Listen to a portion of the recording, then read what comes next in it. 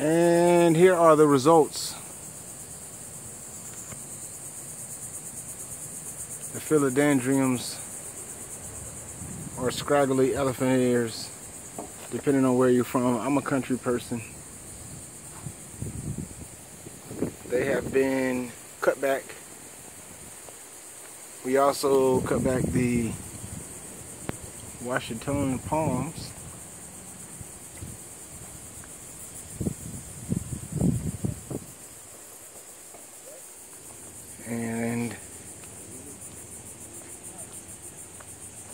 Don't want to take a picture of this guy. He's looks like he's trying to sell him something. This is the after. All cleaned up, all of the weeds dug up. Couldn't even see the curb.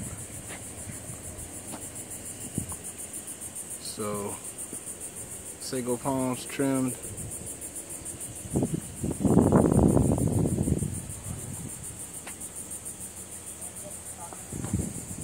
Palms trimmed.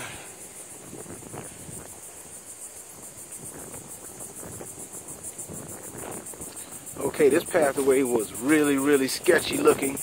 Now it's all cleaned out. I gotta get in the shade so you can see. Hopefully you can see this. You have to look at the before video where it's pretty creepy. Now it's much more open, much more airy, much more inviting. Feel a little bit more comfortable walking back here. You're not so concerned, for example, about snakes. Initially, she wanted to keep the ferns. I think Riley, my guy, came in and murdered them. He knows we always take out ferns. We don't show ferns any love. We don't have a, any history. We normally burn them. And I think she's happy now. I think she initially she wanted to keep the ferns, and now we took them out. I think she's happy because they're cleaner now. Oh, here come, here they come. I gotta hurry up. And look at the back. Look at the difference here. I gotta hurry up because she's gonna come back here, and I don't want to get her in the video. Look at the back. And this is a big difference. And she's so happy, and her husband is too.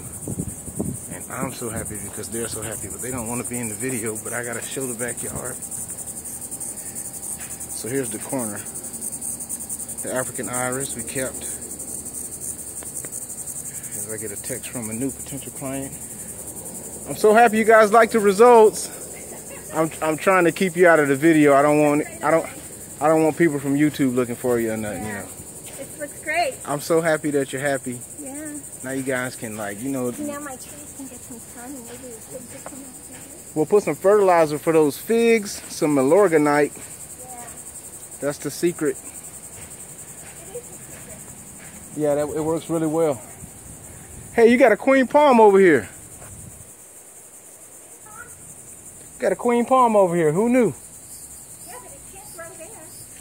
Yeah, he's. It's gonna have to be moved. Yeah, we may have to relocate him. Yeah. He's like, who says I can't grow here? I'm growing here. All right. Thank you guys.